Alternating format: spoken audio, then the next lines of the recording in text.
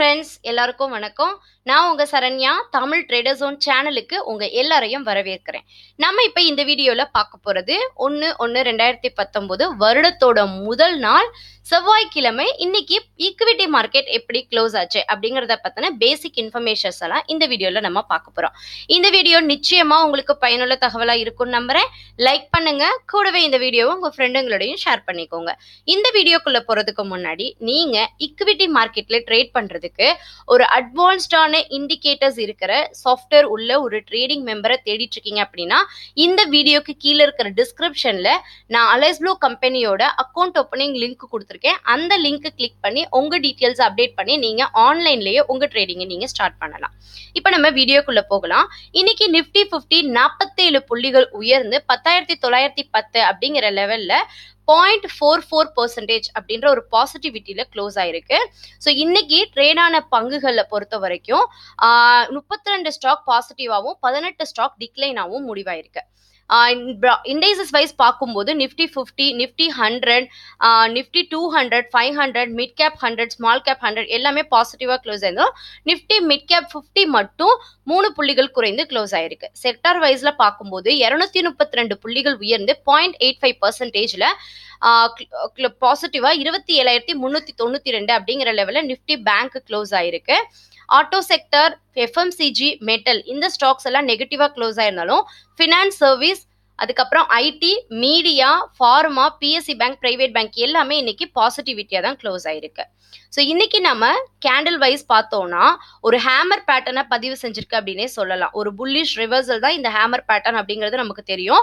பத்தாயிரத்தி எட்நூத்தி எண்பத்தி ரெண்டு அப்படிங்கிற லெவல்ல ஓப்பன் ஆகி பத்தாயிரத்தி எட்நூத்தி எட்டு அப்படிங்கிற லோவை கட் பண்ணாம பத்தாயிரத்தி தொள்ளாயிரத்தி இருபத்தி ரெண்டு வரைக்கும் ஹை போயிட்டு பத்தாயிரத்தி தொள்ளாயிரத்தி பத்துல க்ளோஸ் ஆயிருக்கு. ஸோ பத்தாயிரத்தி தொள்ளாயிரம் அப்படிங்கிற லெவலில் இது கட் பண்ணாம பத்தாயிரத்தி தொள்ளாயிரத்தி பத்து அப்படிங்கிற லெவலில் க்ளோஸ் ஆனது மார்க்கெட் இன்னும் ஒரு பாசிட்டிவிட்டியாக போகும் அப்படின்னு தான் டெக்னிக்கலாக சொல்கிறாங்க இன்னைக்கு க்ளோசிங் வெளியில் சொல்லியிருக்கிற விஷயம் நிஃப்டியில் ட்ரேடான பங்குகளில் ஆயிரத்தி நானூற்றி முப்பத்தி ஏழு ஸ்டாக் அட்வான்ஸாகவும் ஆயிரத்தி தொண்ணூற்றி ஒரு ஸ்டாக் டிக்ளைனாகவும் நூற்றி நாற்பத்தி ஏழு ஸ்டாக்ஸில் எந்த சேஞ்சஸும் இல்லை அப்படின்னு சொல்லியிருக்காங்க. பாரதி ஏர்டெல் ஹெச்டிஎஃப்சிலாம் டாப் கெய்னர்ஸ் ஆகவும் எம்என்எம் டாடா ஸ்டீல் ஹிண்டால்கோலாம் இன்னைக்கு மோஸ்ட் லாஸ்ட் ஸ்கிரிப்ட்ஸ் அப்படின்னு குறிப்பிட்டு சொல்லியிருக்காங்க. டெக்னிக்கல் வியூவில் சொல்லியிருக்கிற விஷயம் மார்க்கெட் வந்து ரெண்டாயிரத்தி பத்தொம்போது முதல் நாள் ஒரு புல்லிஷ் கேண்டில் கொடுத்துருக்கு. ஹேமர் கைண்ட் ஆஃப் பேட்டர்னு கொடுத்துருக்கு.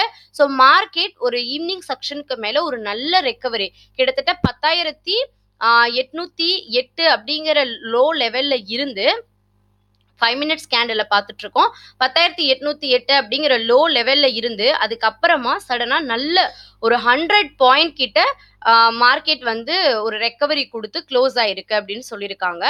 அதே மாதிரி பத்தாயிரத்தி எழுநூத்தி எழுபத்தி ஏழு அப்படிங்கிற குரூஷியலான சப்போர்ட்டை கட் பண்ணவும் இல்லை. பத்தாயிரத்தி எட்நூத்தி ஐம்பதுக்கு மேல பாசிட்டிவா க்ளோஸ் ஆயிருக்கு. ஸோ இந்த எல்லா சிம்டம்ஸும் வந்து பத்தாயிரத்தி தொள்ளாயிரத்தி எண்பத்தி அஞ்சு அப்படிங்கிற லெவல் தொட்டுட்டு பதினோராயிரத்தி நூத்தி எழுபத்தி ஆறு அப்படிங்கிற அடுத்த லெவலுக்கு போகும் அப்படிங்கிறது தான் எக்ஸ்பர்ட்ஸ் வந்து டெக்னிக்கல் வியூல சொல்றது. ஸோ இந்த ஹேமர் கைண்ட் ஆஃப் பேட்டர்ன் என்ன நமக்கு தெரியும். அந்த அதை பத்தி தெரியாதவங்க இந்த வீடியோவோட எண்டில் கொடுக்குறேன். நீங்க அதை பத்தி கிளியரா தெரிஞ்சுக்கோங்க. ஸோ ஹேமர் பேட்டர்ன் அப்படிங்கிறது ஒரு புல்லிஷ் ரிவர்சல் பேட்டர்ன் அப்படிங்கிறது நமக்கு தெரியும். ஸோ ஹேமர் வந்து ஒரு அப்பர் ஷேடோ ஒரு ஸ்மால் பாடி ஒரு லாங் லோயர் ஷேடோ ஸோ இதெல்லாம் நமக்கு கொடுத்து பதிவாகிறது தான் நம்ம வந்து இப்படி பதிவாச்சுன்னா நம்ம வந்து ஒரு ஹேமர் பேட்டர்ன் அப்படின்னு சொல்லுவோம். ஸோ டெக்னிக்கல் வியூவில் சொல்லியிருக்கிற விஷயம் இதுதான். அதே மாதிரி ஓப்பன் இன்ட்ரெஸ்ட் அதிகமாக இருக்கிறது புட் ஆப்ஷனில் பத்தாயிரத்தி நூறு. அதே மாதிரி கால் ஆப்ஷன்ல பதினோராயிரத்தி இரநூறு பதினோராயிரத்துக்குலாம் அதிகமாக ஓப்பன் இன்ட்ரெஸ்ட் இருக்கு அப்படின்னு சொல்லியிருக்காங்க. இப்போ நம்ம மோஸ்ட் ஆக்டிவாக இருந்த ஸ்கிரிப்ட்ஸை பற்றியெல்லாம் பார்க்கலாம். இன்னைக்கு வந்து டாப் கெய்னர்ஸ் அப்படின்னு பார்க்கும்போது பாரதி ஏர்டெல் மூணு பர்சன்டேஜ் கிட்ட ஏறி முன்னூத்தி இருபத்தி ஒன்று அப்படிங்கிற லெவலில் க்ளோஸ் ஆயிருக்கு. ஹெச்டிஎஃப்சி ரெண்டு பர்சன்டேஜ்க்கு மேலே ஏறி ரெண்டாயிரத்தி பத்து அப்படிங்கிற லெவலில் க்ளோஸ் ஆயிருக்கு. எஸ்பிஐ பேங்க் ஒன்றரை பர்சன்டேஜ்க்கு மேலே ஏறி முந்நூறு அப்படிங்கிற லெவலில் க்ளோஸ் ஆயிருக்கு. BPCL Infratel Hindpetro Yes bank Axis bank HDFC bank ICICI bank எல்லாமே மோர் தென் ஒன் பர்சன்டேஜ்ல லெவலில் க்ளோஸ் ஆயிருக்கு. டாப் லாசர்ஸ் அப்படின்னு பார்க்கும்போது எம்என்டம் கிட்டத்தட்ட மூணு புள்ளி எட்டு நாலு புள்ளிகள் குறைந்து எழுநூத்தி எழுபத்தி ஒரு எழுபத்தி மூணு அப்படிங்கிற லெவலில் க்ளோஸ் ஆயிருக்கு. இன்னைக்கு டே ஹை ஓப்பன் ஹை ஓரளவு ஈக்குவலாக இருந்திருக்கு. எட்நூத்தி அஞ்சுல ஓப்பன் ஆகி எட்நூத்தி அஞ்சு புள்ளி எண்பத்தி அஞ்சு வரைக்கும் ஹை போயிருந்தாலும் எழுநூத்தி எழுபத்தி ஒன்று வரைக்கும் லோ போயிட்டு எழுநூத்தி எழுபத்தி மூணுல க்ளோஸ் ஆயிருக்கு. Hindalco Indiabulls housing finance Hindustan Unilever JSW steel ONGC Tata steel UPL Wipro Kotak bank எல்லாமே இன்னைக்கு டாப் லாசஸாக இருக்காங்க. ஸோ நம்ம ஆல்ரெடி வந்து நேற்று வீடியோலையே வந்து நம்ம டெக்னிக்கல் வியூவில் சொல்லியிருந்த விஷயங்கள் எல்லாமே பார்த்தோம். ஸோ அதை பேஸ் பண்ணி இன்னைக்கு இந்த ஸ்கிரிப்ட்ஸ் எல்லாமே வந்து ஒரு சின்ன லாஸ் கொடுத்துருக்கு.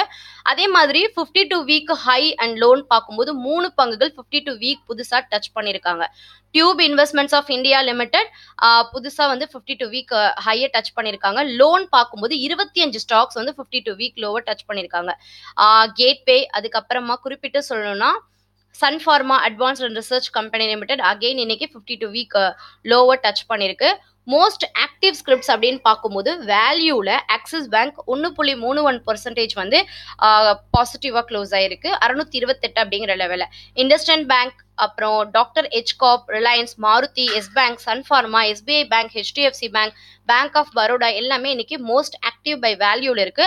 வால்யூமில் இன்னைக்கு ஆக்டிவாக இருந்த ஸ்கிரிப்ட்ஸ் வந்து HCC RCom MTNL Yes bank bank of Baroda JP associate PNB UCO bank Ashok Leyland Axis bank எல்லாம் வால்யூம்ல இன்னைக்கு டாப்பாக இருந்த பங்குகள்.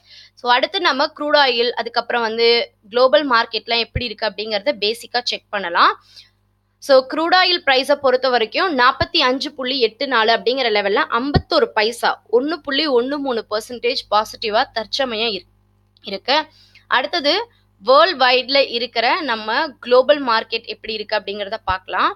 ஸோ இன்னைக்கு வந்து ஆல்மோஸ்ட் வந்து நியூ இயர் ஹாலிடேஸை பொறுத்து நிறைய மார்க்கெட்ஸ் லீவு ஸோ ஐம்பது புள்ளிகள் உயர்ந்து ஆறாயிரத்தி அறநூற்றி முப்பத்தி அஞ்சு அதுக்கப்புறம் டேக்ஸு நூற்றி எழுபத்தி ஏழு புள்ளிகள் உயர்ந்திருக்கு. ஏஷியன் மார்க்கெட்ல நிக்கி அறுபத்தி ரெண்டு புள்ளிகள் உயர்ந்திருக்கு. ஆஸ் யூஷுவல் ஹெச்எக்ஸ் நிஃப்டி நாற்பத்தி நாலு புள்ளிகள் உயர்ந்து பத்தாயிரத்தி தொள்ளாயிரத்தி அறுபத்தி ஏழு அப்படிங்கிற லெவலில் இருக்கு. அடுத்து நம்மளுடைய இந்திய ரூபாயின் மதிப்பு தற்சமயம் எப்படி இருக்கு அப்படிங்கிறத நம்ம செக் பண்ணலாம். ஸோ இன்னைக்கு வந்து அறுபத்தி ஒன்பது புள்ளி நாலு மூணு அப்படிங்கிற லெவலில் முப்பத்தி மூணு பைசா உயர்ந்து சாரி குறைந்து தற்சமயம் இருக்கு. ஸோ இப்போ நம்ம e-, ஈக்விட்டி மார்க்கெட் எப்படி முடிஞ்சிருக்கு அப்படிங்கிறத பற்றி பார்த்துருக்கோம். நம்ம அடுத்த வீடியோவில் நாளைக்கு மார்க்கெட் எப்படி ஓப்பன் ஆகும் அப்படிங்கிறத பற்றி இன்னும் டீட்டெயில்ஸாக நம்ம பார்க்கலாம். இப்போ பார்த்தா இந்த பேசிக்கான இன்ஃபர்மேஷன்ஸ் எல்லாமே உங்களுக்கு பயனுள்ள தகவலாக இருக்கும்னு நம்புகிறேன் ஸோ லைக் பண்ணுங்க. கூடவே இந்த வீடியோவை உங்கள் ஃப்ரெண்டுங்களோடையும் ஷேர் பண்ணுங்க. இந்த வீடியோ பற்றின கருத்தை கீழே இருக்கிற கமெண்ட்ல மறக்காமல் மென்ஷன் பண்ணுங்கள் உங்களுடைய ஒவ்வொரு கருத்தும் தான் எனக்கு அடுத்து அந்த அடுத்த லெவலில் இதை எப்படி நம்ம இன்னும் ப்ரெசென்ட் பண்ணலாம் அப்படிங்கிற ஒரு ஐடியா கிடைக்கும். ஸோ தேங்க்யூ ஸோ மச் இவ்வளோ நேரம் இந்த வீடியோவை வாட்ச் பண்ணதுக்கு ரொம்ப நன்றி. இதே மாதிரி பயனுள்ள தகவலோட அடுத்த வீடியோவில் உங்களை சந்திக்கும் வரை உங்களிடமிருந்து விடைபெறுவது உங்கள் Saranya. Have a great day once again wishing a happy new year thank you so much